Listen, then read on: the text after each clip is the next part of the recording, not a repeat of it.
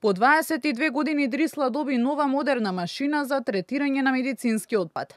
Стерилизатор со капацитет од 2,5 тони ќе дроби и стерилизира игли, шприцеви, завои и друг вид на отпад од болниците без да ја загадува околината. Директорот на предпријатието објасни дека станува збор за автоматизиран систем кој го намалува волуменот на медицинскиот отпад и во исто време ја заштедува потрошувачката на вода и енергија.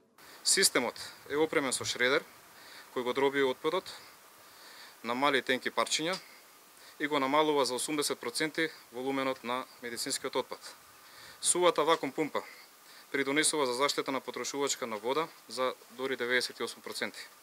А системот за заштита на енергија обезбедува еколошка безбедност и не дозволува инфективниот воздух да ја загадува околината.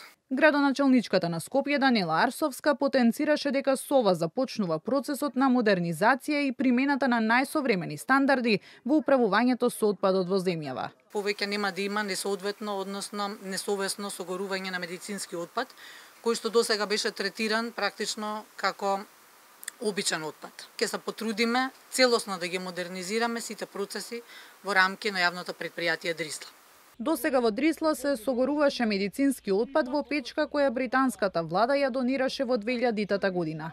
Пред пет години беше поставен филтер, откако Министерството за животна средина ја казни депонијата поради енормното аерозагадување. Печката годинава ќе се реновира и ќе служи како резервна варијанта.